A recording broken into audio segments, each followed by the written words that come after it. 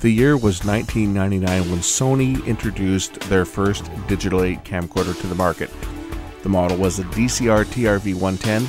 I took one out, took it to the Bloedel Conservatory, and did some shooting with it under extreme conditions to see how good this picture could look. And I ended up doing a demo video that was used in some stores to demonstrate the quality of this camera. I'm going to show you guys the raw footage. You've seen a few snips of this before. I'm going to show the entire tape and we'll compare it to that DVD camera. This tape again was shot on a DCR TRV 110. I used a metal evaporated tape. This tape has been sitting since it was edited. We made a short, it goes about a seven or ten minute loop to demo the best shots and some of the features off the camera, and this tape hasn't been seen since. So some shots are going to look better than others. Uh, some shots I, I, had an auto exposure and then I went into manual exposure to close down the iris and make it look good. But I think you'll agree that some of these shots look really good for this little camcorder. Other shots, you're going to see the limitation of the CCD because the tape format resolves a much better picture than the CCD is actually capable of delivering. But I think it looks pretty good. I'm presenting this in standard definition. I'm not upscaling it or anything. I'm just going to present it as it came off the tape. And I'm going to take the DVD that came out of that DVD camcorder and I'll tag it onto the end of this. So this video is going to be probably about an hour and 20 minutes because I'm going to show all the raw footage. I'm going to shut up now and just let the tape play.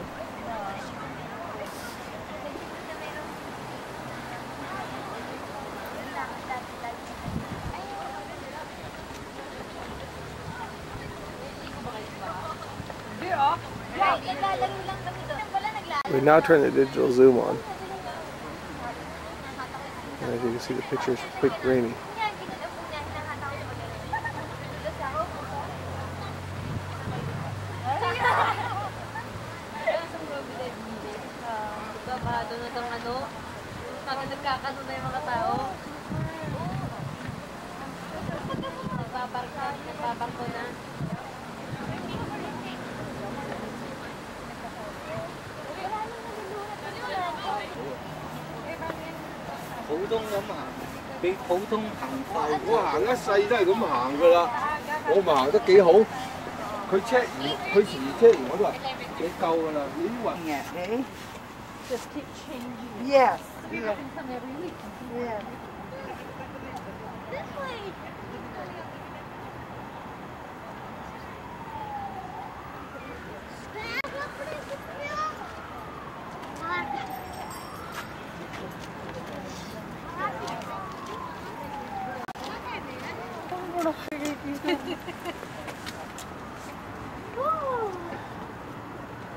see how accurately the single chip camera records that. That's a very dark red, very, very deep red flower. We'll see how accurately the color is recorded.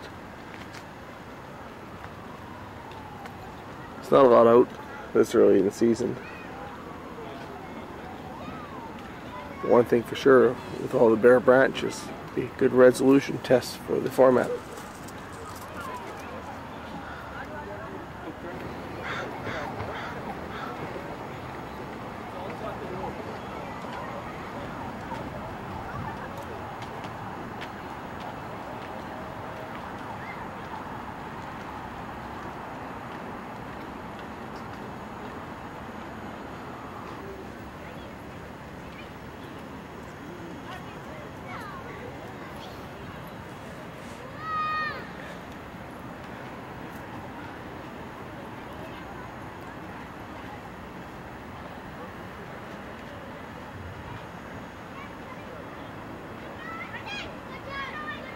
An interesting vantage point. You can probably almost see Billy's place from here. We'll zoom in. We'll go through the optical range. And uh, we'll get into the digital range slowly.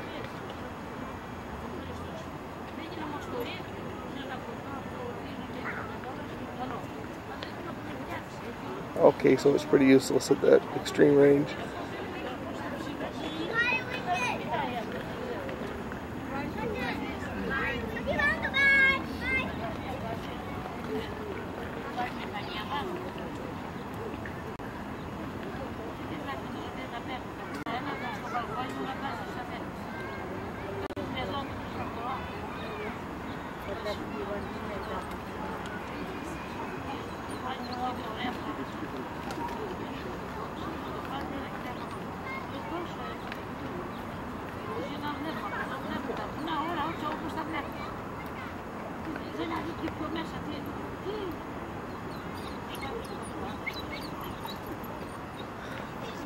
Okay, so I guess we all admit that digital zoom is useless, so I'm going to turn it off.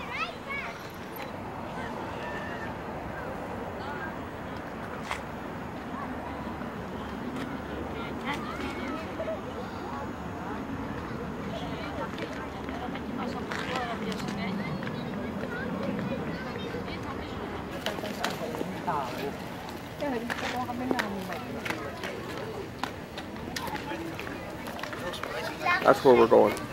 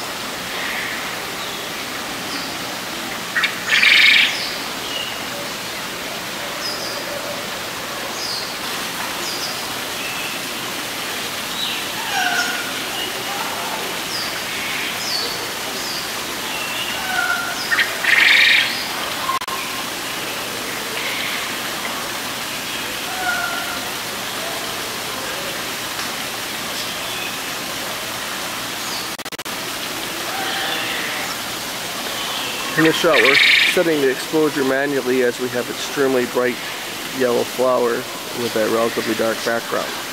So we'll switch to manual exposure to iris down the lens.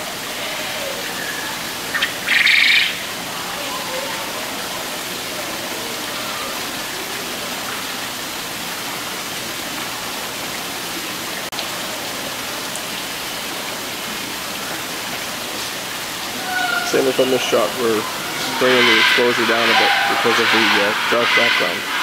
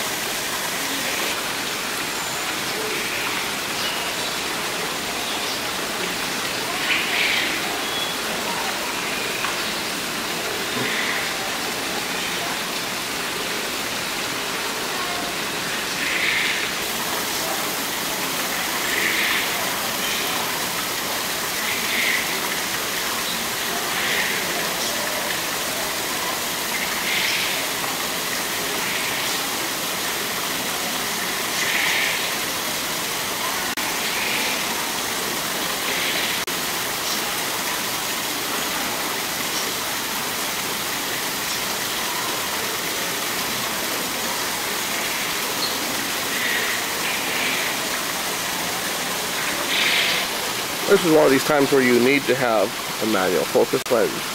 I had to manually focus on the water.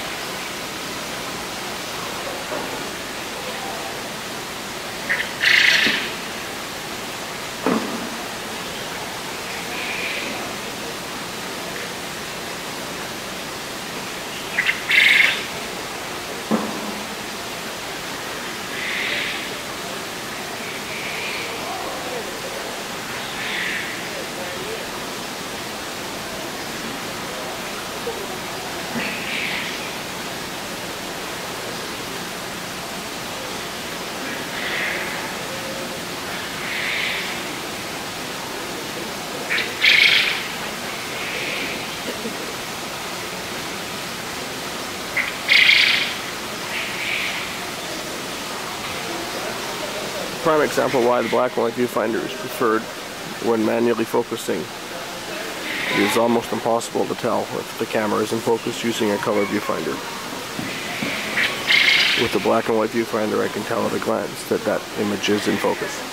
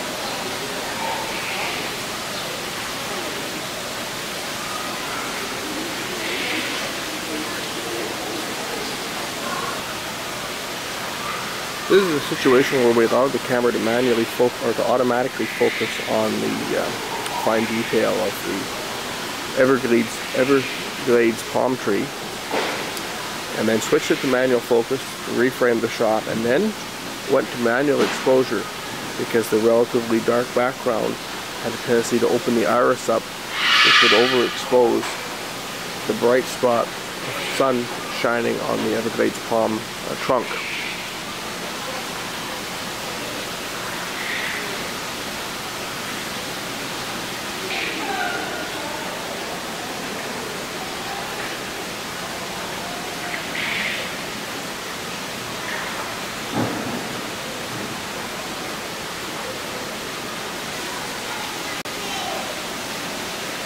Just about every shot that I'm doing here, I'm using a combination of both the black and white viewfinder and the color flip out screen.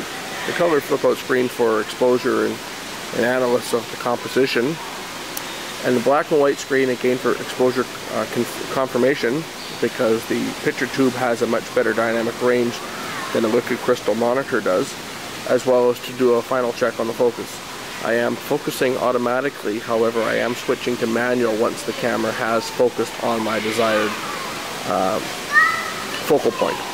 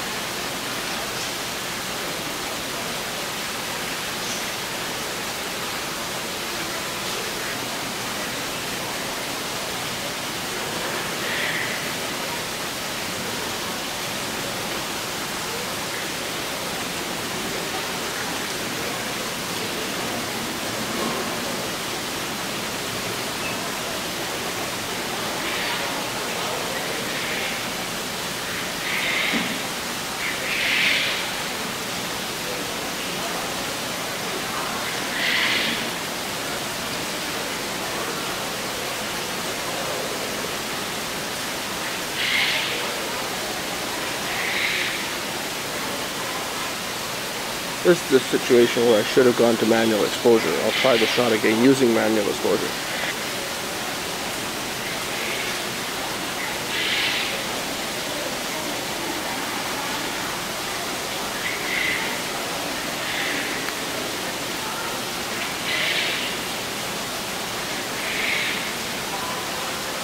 That is how it should look.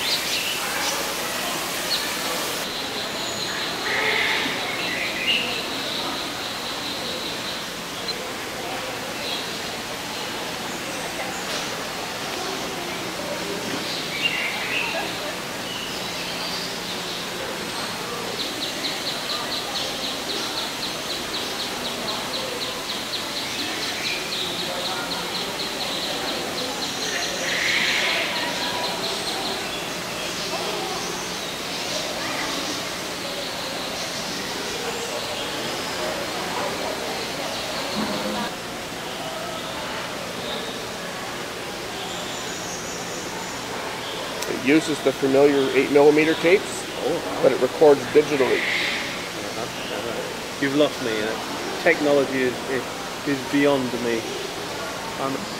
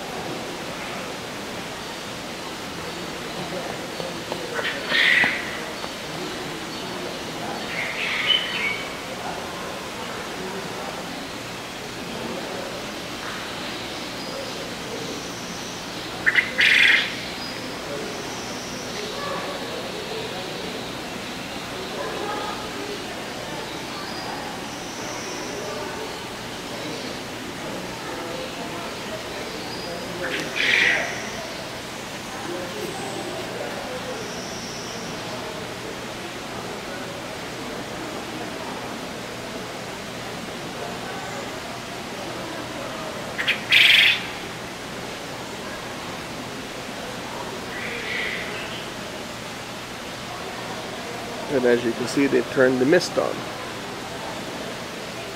It's going to get very humid in here shortly.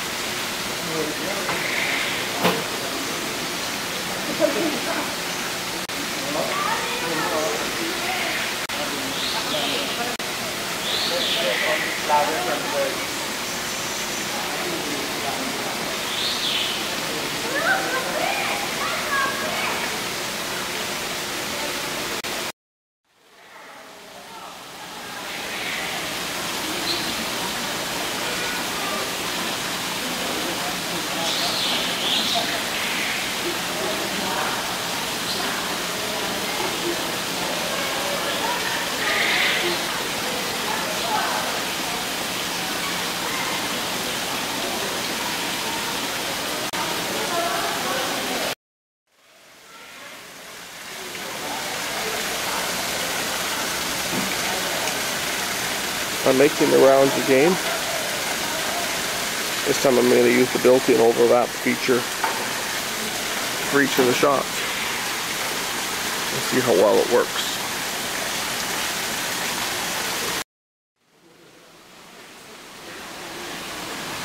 Um, hotel is very much like this.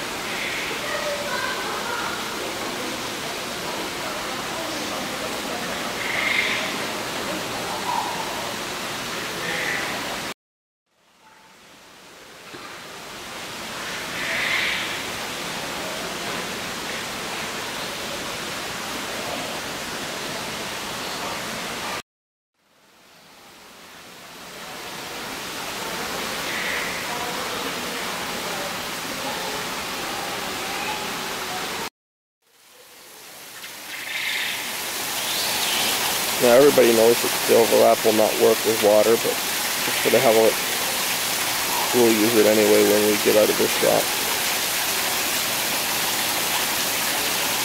The overlap works by just taking a still shot from the previous scene.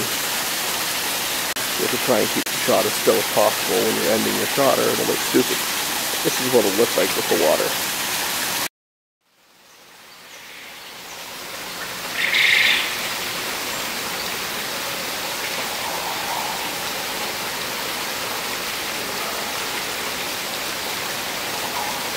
Actually, the light is starting to change and so we get a completely different effect.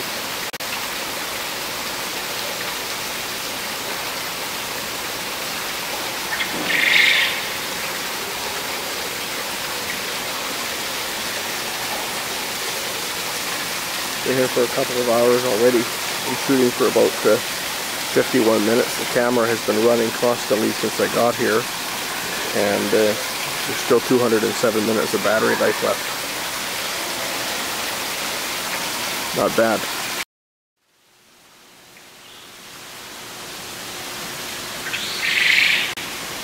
I think this bird must be nailed down to this rock because it was standing in the same place an hour ago.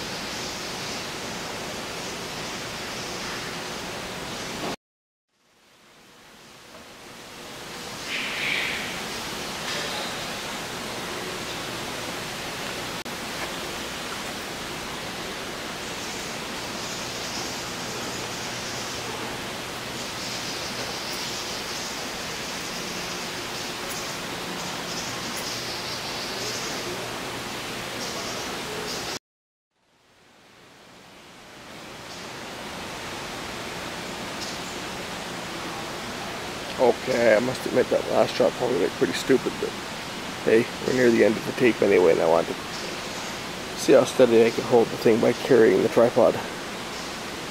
Steady shot turned off, of course.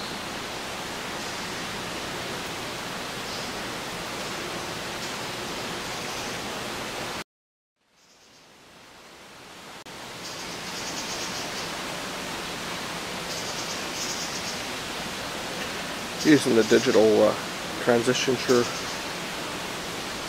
sucks down the battery. I'm watching the battery meter drop really quick. Whenever I do a transition, it takes a good minute off the battery.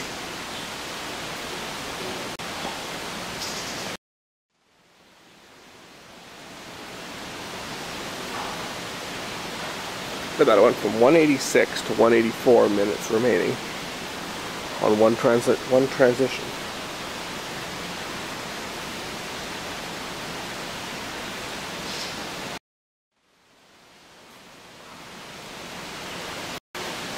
Neat feature I have noticed is that you can call the overlap fader function after you've stopped recording already.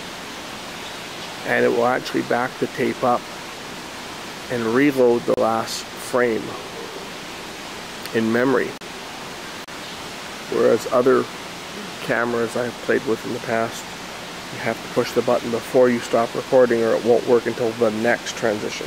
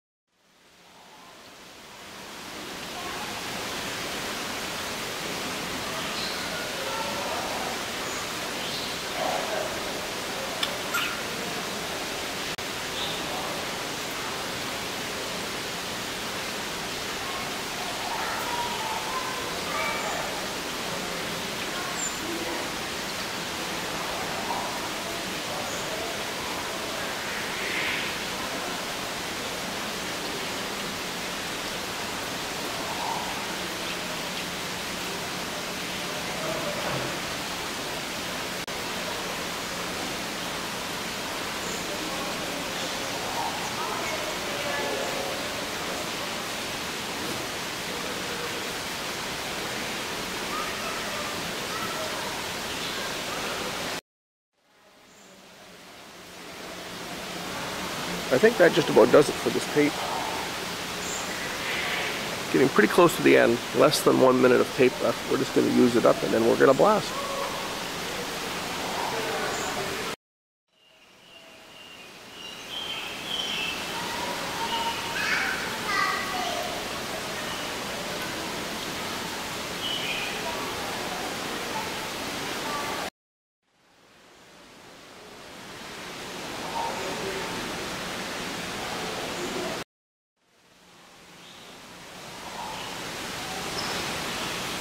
Guess this is going to be the last shot of the tape.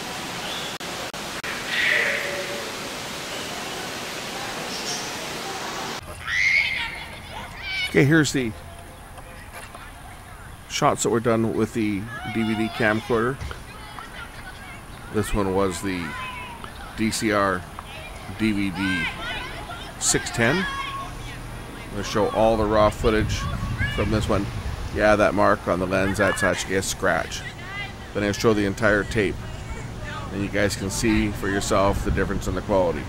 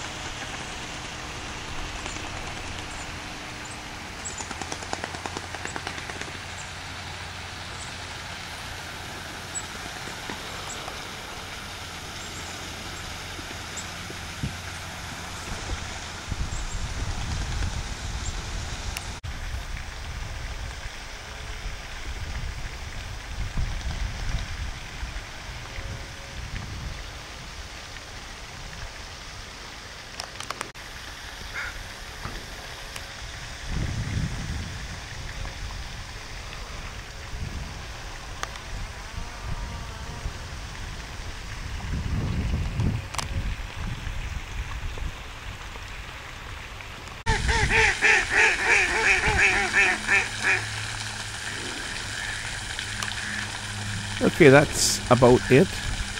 Sound off in the comments. Let me know which one you think looks better. The footage that was recorded direct to DVD or the footage that was recorded to Digital 8.